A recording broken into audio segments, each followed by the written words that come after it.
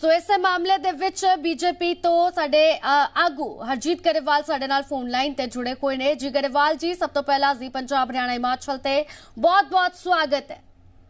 ਸ਼ੁਕਰੀਆ ਜੀ ਧੰਨਵਾਦ। ਗਰੇਵਾਲ ਜੀ ਅੱਜ ਸਵੇਰ ਦੇ ਵੇਲੇ ਹੀ ਇਹ ਵੱਡੀ ਘਟਨਾ ਵਾਪਰ ਜਾਂਦੀ ਹੈ। ਪੰਜਾਬ ਦੇ ਵਿੱਚ ਕਾਨੂੰਨ ਵਿਵਸਥਾ ਤਾਂ ਪਹਿਲਾਂ ਹੀ ਵਿਗੜੀ ਹੋਈ ਹੈ ਲੇਕਿਨ ਸ਼ਰੇਆਮ ਬਰਗਾੜੀ ਬੇਅਦਬੀ ਮਾਮਲੇ ਦੇ ਵਿੱਚ ਨਾਮ ਜਾਂ ਡੇਰਾ ਪ੍ਰੇਮੀ ਦਾ ਕਤਲ ਕਰ ਦਿੱਤਾ ਜਾਂਦਾ ਹੈ। ਇਸ ਨੂੰ ਤੁਸੀਂ ਕਿਸ ਤਰ੍ਹਾਂ ਵੇਖਦੇ ਹੋ?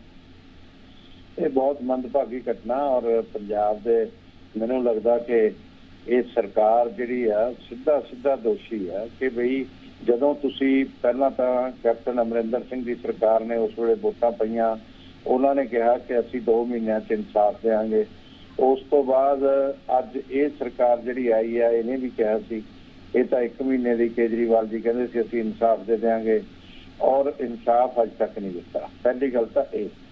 ਦੂਸਰੀ ਗੱਲ, ਕਾਨੂੰਨ ਤੋਂ ਲੋਕਾਂ ਦਾ ਵਿਸ਼ਵਾਸ ਉਠਵਾ ਰਹੇ ਆ ਇਹ ਇਹਨਾਂ ਚੀਜ਼ਾਂ ਨੂੰ ਲੰਬਾ ਕਰਦੇ ਆ, ਇਹਨਾਂ ਚੀਜ਼ਾਂ ਜਦ ਦੇ ਸਿਆਸਤ ਤੋਂ ਪ੍ਰੇਰਿਤ ਹੋ ਕੇ ਕੰਮ ਕਰਦੀਆਂ ਨੇ ਸਰਕਾਰਾਂ, ਤੇ ਇਹ ਨਹੀਂ ਕਿ ਲੋਕਾਂ ਨੂੰ ਇਨਸਾਫ ਦੇਈਏ, ਇਹ ਦੇਣਾ ਚਾਹੀਦਾ ਸੀ, ਪਹਿਲੀ ਗੱਲ ਤਾਂ ਇਹ ਸਰਕਾਰ ਦੋਸ਼ੀ ਆ।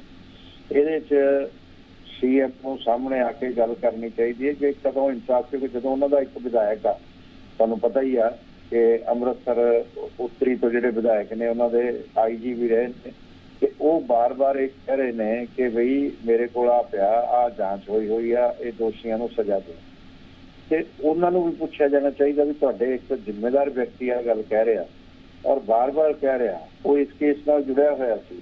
ਤੇ ਤੁਸੀਂ ਇਹ ਇਨਸਾਫ ਕਿਉਂ ਨਹੀਂ ਦਿੰਦੇ?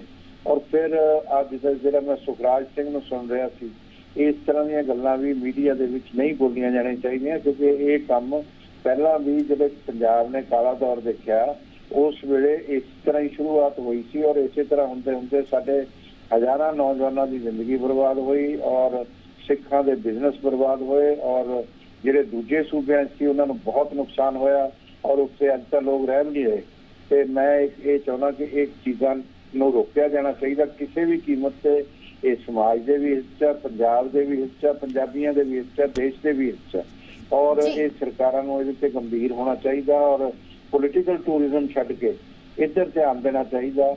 ਉਹ ਤਾਂ ਪੋਲੀਟੀਕਲ ਟੂਰਿਜ਼ਮ ਤੇ ਨੇ ਚੀਫ ਮਿਨਿਸਟਰ ਜਿਹੜੇ ਆ ਉਹਨਾਂ ਨੂੰ ਇਹ ਚੀਜ਼ਾਂ ਛੱਡ ਕੇ ਪੰਜਾਬ ਦੀ ਲਾਅ ਐਂਡ ਆਰਡਰ ਵੱਲ ਧਿਆਨ ਦੇਣਾ ਚਾਹੀਦਾ ਔਰ ਇਹ ਫਿਰ ਇੱਕ ਸਟੇਜ ਐਸੀ ਹੋਣੀ ਹੈ ਕਿ ਕੰਟਰੋਲ ਨਹੀਂ ਹੋਣਾ।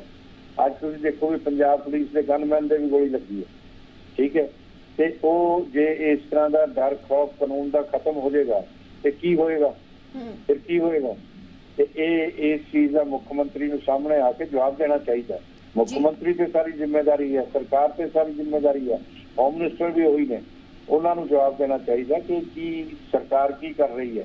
ਪੰਜਾਬ ਸਰਕਾਰ ਦੀ ਕਿਸ ਤਰ੍ਹਾਂ ਦੀ ਸਥਿਤੀ ਹੈ ਤੇ ਇਹ ਮੈਂ ਸਮਝਦਾ ਬੜੀ ਮੰਦਭਾਗੀ ਗੱਲ ਹੈ ਔਰ ਸਾਰੇ ਪੰਜਾਬ ਵਾਸੀਆਂ ਨੂੰ ਇਹਦੇ ਤੋਂ ਜਾਗਰੂਕ ਹੋ ਕੇ ਸਰਕਾਰ ਤੋਂ ਜਵਾਬ ਮੰਗਣਾ ਚਾਹੀਦਾ ਕਿ ਭਾਈ ਤੁਸੀਂ ਕੀ ਕਰ ਰਹੇ ਤੁਹਾਡੀ ਜਵਾਬਦੇਹੀ ਕਿੱਥੇ ਆ? ਕਿੱਥੇ ਹੈ ਕਾਨੂੰਨ ਵਿਵਸਥਾ? ਕਿੱਥੇ ਹੈ ਕਾਨੂੰਨ ਦਾ ਡਰ? ਇਹ ਇਸ ਤਰ੍ਹਾਂ ਤਾਂ ਪੰਜਾਬ ਦੇ ਅੰਦਰ ਜ਼ਿੰਦਗੀ ਜਿਹੜੀ ਆ ਹੋਰ ਮੁਸ਼ਕਲ ਹੋ ਜਾਏਗੀ ਔਰ ਜਿਹੜੀਆਂ ਇਨਵੈਸਟਮੈਂਟ ਤਾਂ ਪਹਿਲਾਂ ਹੀ ਨਹੀਂ ਆ ਰਹੀਆਂ ਬਾਹਰ ਜੀ ਠੀਕ ਸਾਰੇ ਬਿਜ਼ਨਸ ਬੰਦ ਹੋ ਜਾਣੇ ਜੀ ਠੀਕ ਹੈ ਗਰੇਵਾਲ ਜੀ ਬਹੁਤ ਬਹੁਤ ਧੰਨਵਾਦ ਸਾਡੇ ਨਾਲ ਗੱਲਬਾਤ ਕਰਨ ਦੇ ਲਈ।